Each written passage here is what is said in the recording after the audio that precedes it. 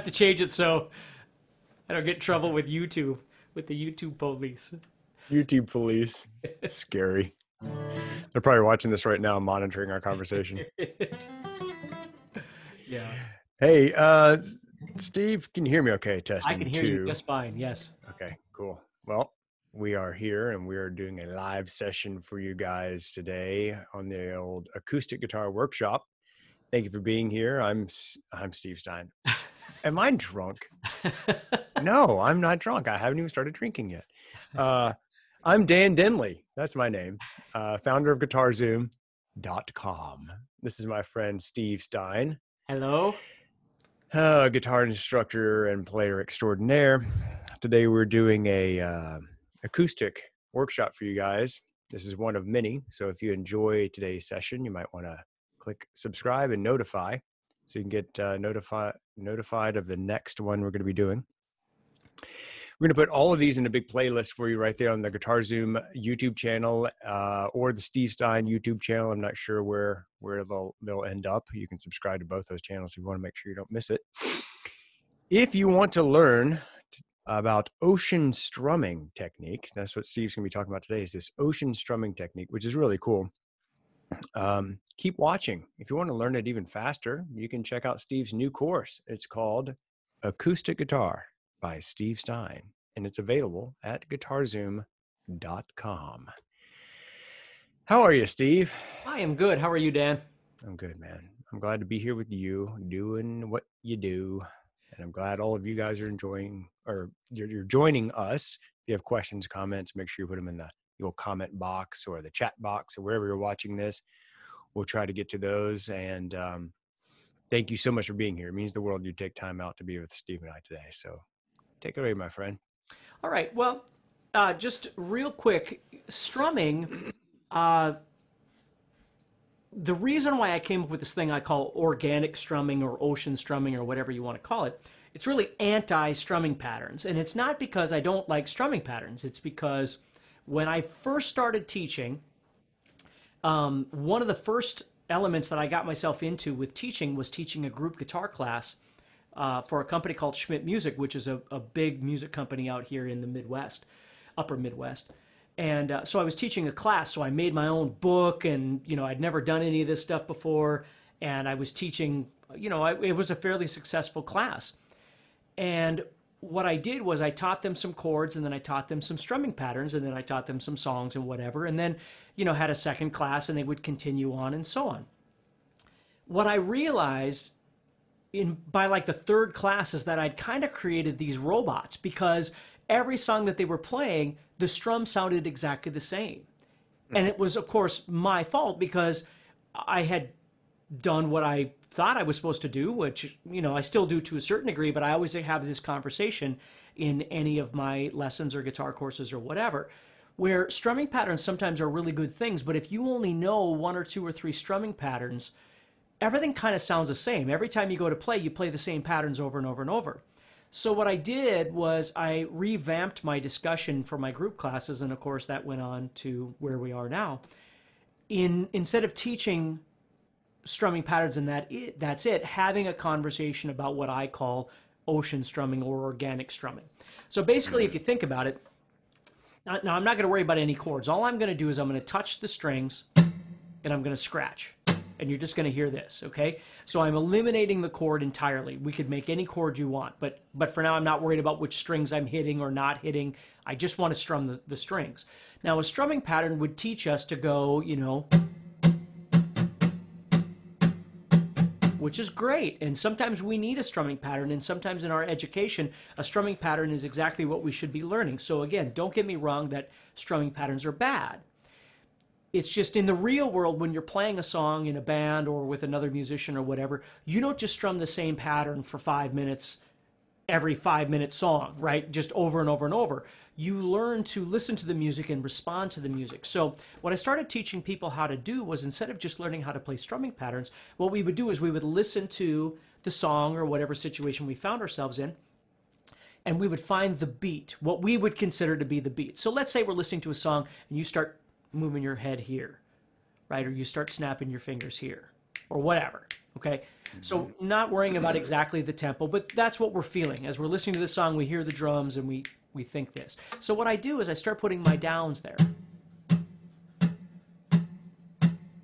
Okay, so that's where my beat is. That's where um, I'm going to put my down strums and set everything else up. So now, again, instead of going into a strumming pattern, what I'm going to do is be aware that I have up strums that exist in between those down strums.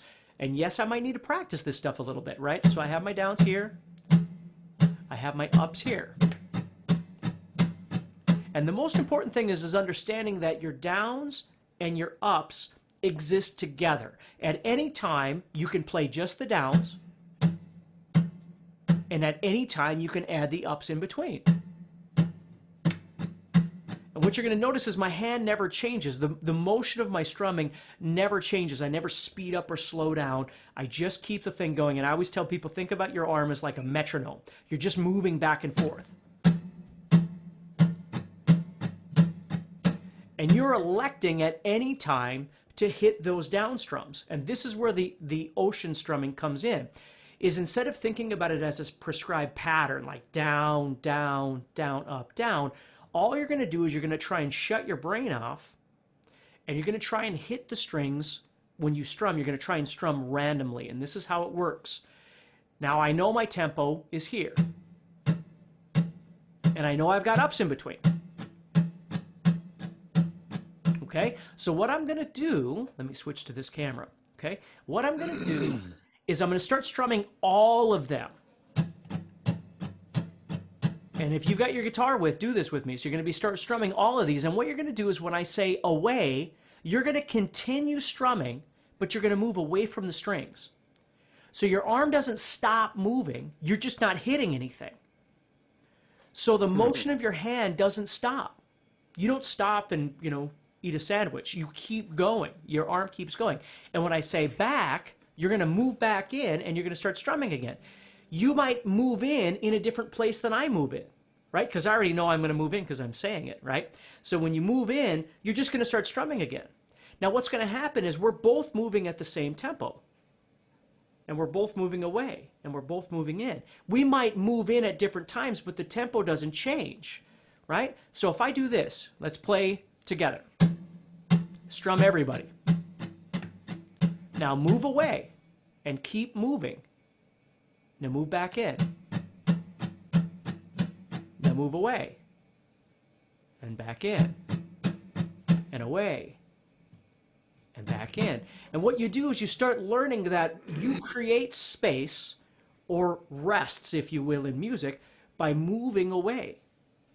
And then when you come back in, you create energy by strumming. And you can strum a little bit or you can strum a lot. You can just maybe move in for a little bit.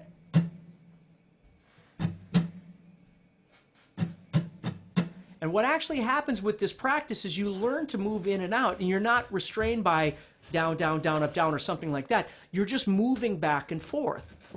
And after a while, what actually happens is you can start hearing some things that you might want. Like you might hear bum, bum, bum. So you're doing this and you go, and then you move away again. Dun, dun, dun. Right? Dun, dun, dun, dun, dun. So what I'm doing is I'm responding to the rhythms that I'm hearing in my head, the grooves that I'm hearing in my head, and I'm able to play those. I'm not having to define everything by one E and a two E and E or, you know, down, down, up, that sort of thing. I'm simply playing. So as I listen to the song,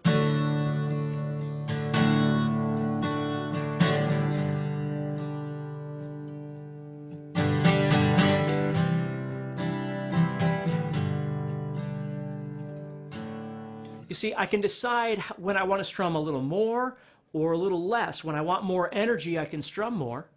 And when I want to leave some breath, I strum less. And I always think of it like the reason it's called ocean strumming is because if you watch the ocean, if you do ever just get a chance to sit and watch the ocean, it's very unpredictable. Like the waves are very unpredictable. You never know when they're going to be really aggressive and when they're going to be really mellow and where there's going to be a lot of them or less of them.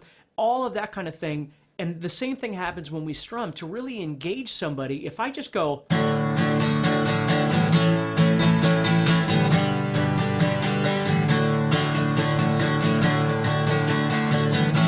for five minutes. After a while, you're going to want to throw a brick at my head because there's just it's just the same thing. It's just like stop, right? Where if I can, and again, some songs actually kind of need that driving. Some songs need that. Okay, if I was going.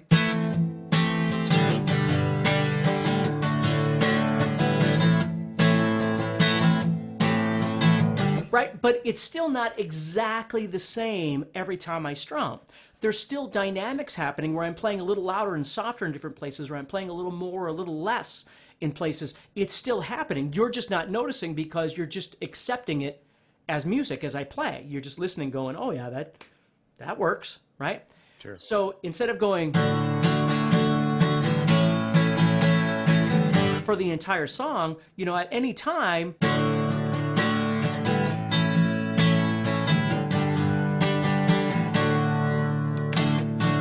Can change it up. I can add variety. I don't have to. I'm not obligated to, but I can. That's the whole point of ocean strumming. I love it, man. This is such a cool technique, and I love the the analogy of the ocean and it being unpredictable. What's interesting to me is that the predictability of it is it's very predictable in, in the right hand or the strumming hand, which is it's like the metronome that you mentioned. It doesn't it's doing the exact same thing. The only thing that's changing either you're playing or you're not, but that you're moving in or you're out. And uh, that whole concept of being able to get out of the mindset of this strict rhythm of one eanda, two eanda, three eanda, or you know down up, down up, down up, whatever. you just throw that right out the window. And this is a whole new perspective on strumming that I, I love the way you teach this.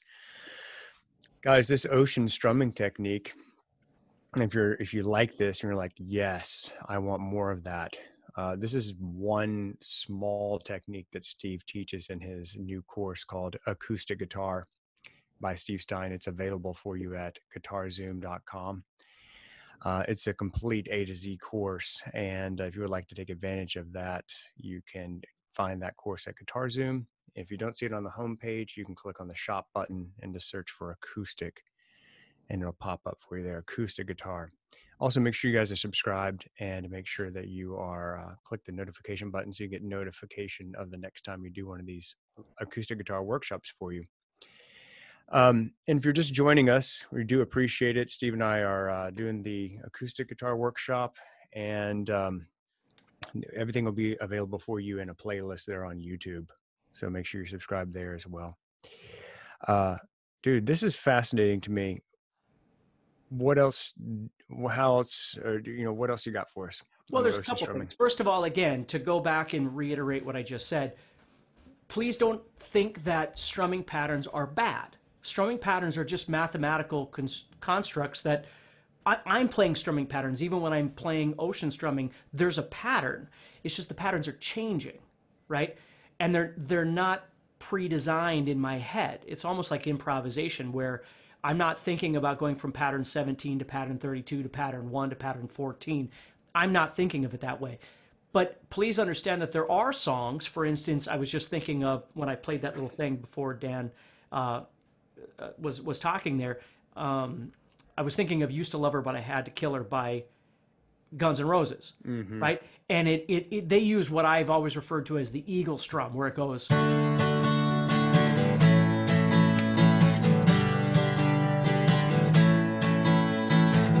And it's a it's a actual strumming pattern. The difference is is that it's not like Slash has to play that pattern without change for the entire song, right? There's an underlying pattern to the song, no doubt about it. But it's not like there's no wiggle room to do other things throughout the song, and of course he's going to. That's what mm. makes us human. So a lot of times when people learn patterns, they think if they strum something outside the norm of that particular pattern, that they've done something wrong and that's not true at all. The the only thing that I would consider wrong is if you lose the groove, right? If you lose the tempo and you're strumming, you know, at a different tempo or something like that, obviously that's not something that's going to be functional. But you know, any song that you listen to, there are certain songs that have more more freedom in its rhythm, and there are songs that are more structured. But even the more structured ones have space for this ocean strumming.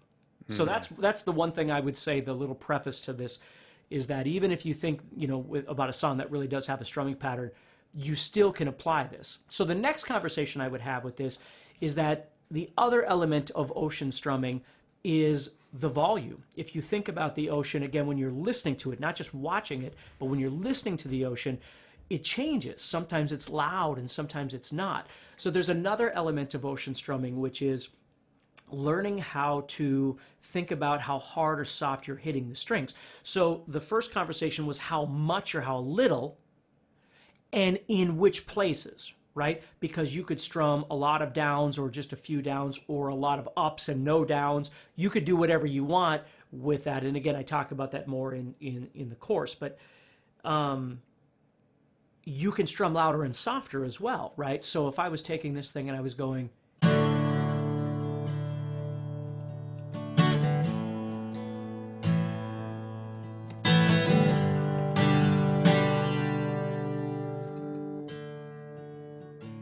So I can add a real human dynamic to it by thinking about strumming less or more, but I can also think about the push, right? Strumming softer or louder. I love it, dude. This is awesome, man. Um, I don't want to stop.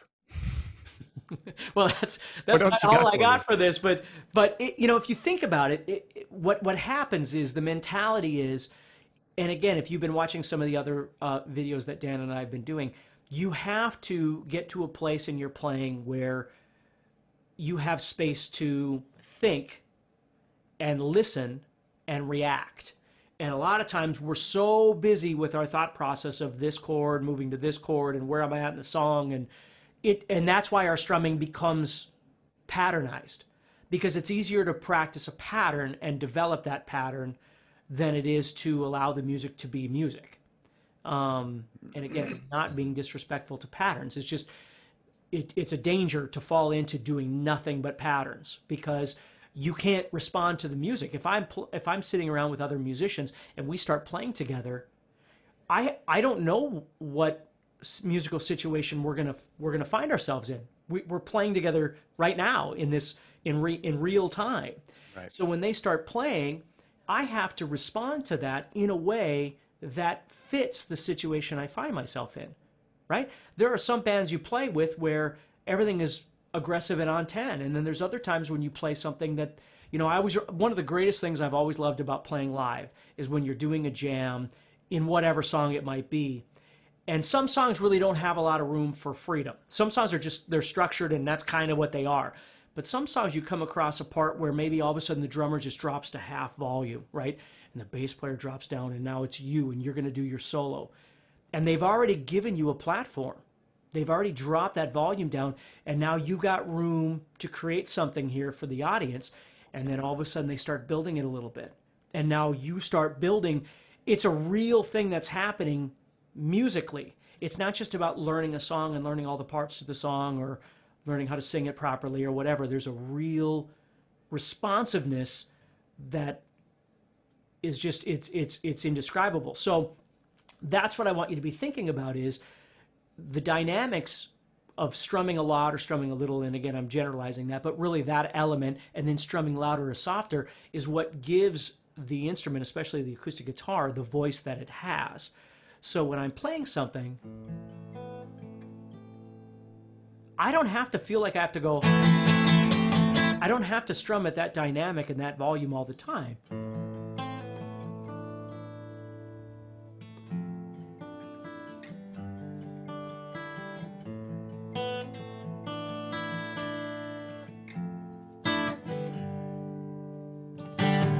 See, I can build, I can ebb and flow with this thing trying to create a, a mood. And maybe that isn't the mood, right? Maybe the mood is. Maybe it's more driving. Well, that's okay. Then I'm going to have less of those dynamics. But I need to be aware of it and I need to be able to respond when it isn't that, right? Because everything's mm-hmm. different. You know, if you're playing with a band and you're playing 10 or 20 or 50 songs, which I have done many times before in a night, um, you know everything's a little different so uh, just think about that a little bit in your playing not just in your strumming in general but just you know this ocean concept can be applied all over the place to your to your playing yeah let me ask you a follow-up question about that um, you mentioned playing 50 songs in a night. I'm curious. Um, I have my own experience with this, but I'm curious from you how important was learning lots of songs for your development as a guitar player? Well, for me personally, you know, I learned from songs. Like that's how I learned. My songs were my teacher. So, you know, we all learn vastly different, but that's how I learned was um, I didn't really have, you know, I tried guitar lessons and it didn't really work out. And so learning how to play songs by ear was kind of, to be honest with you, I think it was both the, the I mean, if I'm being completely honest, it was a blessing in I know a million songs and I've learned a million things in my head about music and structure and styles and genres. The the curse of it was is in the early days I never really developed myself. I just developed a I was a, I was a, a machine at being able to learn songs. It wasn't until later that I learned um, started working on myself. So if that kind of makes sense. Yeah. But but was it important? It was it was in, vastly important. Just to give people some context, how many songs do you think you've learned? Oh, I wouldn't even know. I wouldn't. Tens of thousands. I, I wouldn't even venture to guess. I mean, because think about it, it wasn't just what I needed. I mean, as a guitar teacher, and, and for people that don't know my history, and I'm not going to go into all that right now, but I have taught so many people guitar, not just virtually. Like now I live in this virtual world where people learn all over the world and that sort of thing. But there was a time for 25 years that I taught one on one or 10 on one or 20 on one or 30 on one in physical classes all the time. And you know, if you're doing a one on one lesson, you have 30 minutes to have this child or this adult come in, give them something to benefit them in the long run, and then give them something that they want to do, which is 99% of the time some sort of song. You have to figure it out by ear as quickly as humanly possible and then translate that to them so they can learn it in 30 minutes you have to turn all this around so you know you're learning anything like literally anything by anybody any style of music and you know you can't go well i i can't te- i don't know how that goes i can't teach it to you. You know they ask for it you have to figure it out you have to turn around and give it to them write it down whatever you need to do so they can practice it for the next week. Um, so i i wouldn't even venture to guess between that and you know all the songs you know and then you get picked up for doing a tour or something like that and you know they'll say hey you know you got three weeks to learn our set list which isn't bad you know but if it's stuff you're not familiar with you got to really hammer down to learn it in a short amount of time or a you know a cover band you know you're going to do a fill-in gig with a band and it's this friday and it's tuesday and they've got 40 songs on their list and you know a few of them but you don't know their arrangement like everybody does things a little different so you learn it as best you can in the keys that they want you to, and then you just watch everybody for changes and endings, and you know, it's a whole different beast. Very cool. I bring that up because uh, learning songs is a big important part of my whole musical education from childhood. Of course, my background was piano when I started, and you don't just sit down at the piano and the teacher says, "Okay, let's learn a C scale." You know, the first thing you do is like, "Here's this little beginner piece by Mozart." and let's take your right hand and we're going to put it on the middle C and we're going to do, you know, like you don't learn in a vacuum. You, you learn by learning other people's music. And I think there's this tendency of like one or the other. Either people are like, I just play songs or I'm all technique or I'm all skills and I do this thing because I don't want to interfere with my ability to uh, be myself and be expressive. But the reality is you really need both. You need to learn other people's stuff so you can learn from them, learn their techniques. You mentioned Slash earlier um, you know you can learn everything you can from that guitar player and then you can move on to something else and you have the lesson base um, which you know teaches the technique and all the mm, if you want to learn theory and that kind of thing i do want to mention guys that uh, steve has a songs course it's really not even a course it's a membership it's called you can go to playsongs.com and it'll uh, send you over there and it's hundreds of songs that steve teaches you how to play and uh, he's adding to that monthly. So if you'd like to join that, just go to playsongs.com. Um, also, if you are enjoying this video, you're enjoying, you really go deep on your acoustic guitar journey. Steve has a new course. It's called Acoustic Guitar. by Steve Stine, and that's available for you at guitarzoom.com. He goes into this ocean technique that we've discussed, discussed today the bouncing lift and shift, the uh, different chord progressions, everything you would need to know A to Z on acoustic guitar. And um, it's available for you there at guitarzoom.com. What else, my friend? Well, that's pretty much it. You know, just getting you to think again a little differently about the way that you approach your rhythm and your strumming and things like that. You know, in the course, I certainly talk about strumming patterns as well, but I always try and follow strumming pattern discussion up with anti strumming patterns, you know, which is what we're talking about right now, just so you really understand that you can't just rely on, uh, you know, it's like just saying, I'm only going to learn the chords G and E minor and I'm never going to learn anything else. Well, there's only so much you can do with that. Um, so, yeah, I, I, that's that's all I've got for this is really just thinking about how to approach this. Go back and watch this again if you need to, and um, and really start just practicing that. And and you don't need chords to practice this. You can just practice scratching, you know, just to develop those elements. And then once you've kind of got it in a real comfortable place, stick it on a chord, and that's fine. Um, and the reason I'm not doing a chord is because if I'm doing D, then we're worried about not hitting the top two strings, but you know, and then all this stuff starts, and then you're not thinking about strumming anymore. You're thinking about, you know, like I've always thought about strumming is when I strum, like if I'm strumming a D chord, I just don't want this because it sounds horrible, right? That's what I don't want. Anything else is fair game. I know I want four strings, but it doesn't bother me if I hit five strings. It doesn't bother me if I hit three strings, and it doesn't really bother me if I hit six strings every once in a while. It's a dynamic change. You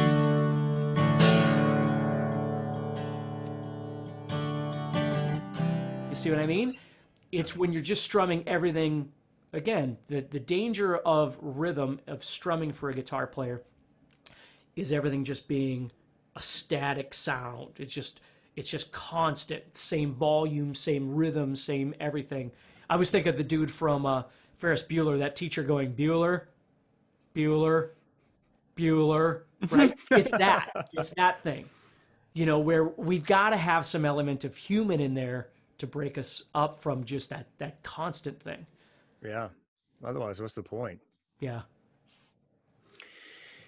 Okay, my friend.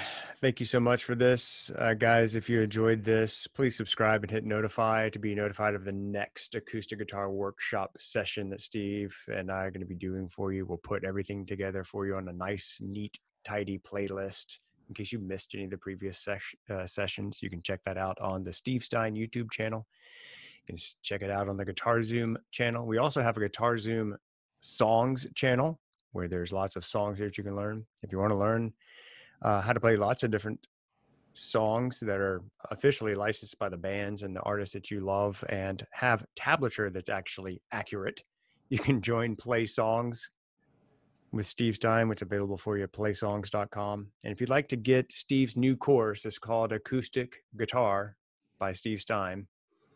It's available for you at the old guitarzoom.com. Steve, as always, my friend, it's been awesome. Thanks to all of you for being here. Really appreciate you taking your time to be with us today. We will see you in the next session. Thanks, everybody. Take care, and I'll talk to you soon, Dan. Okay, buddy. Bye.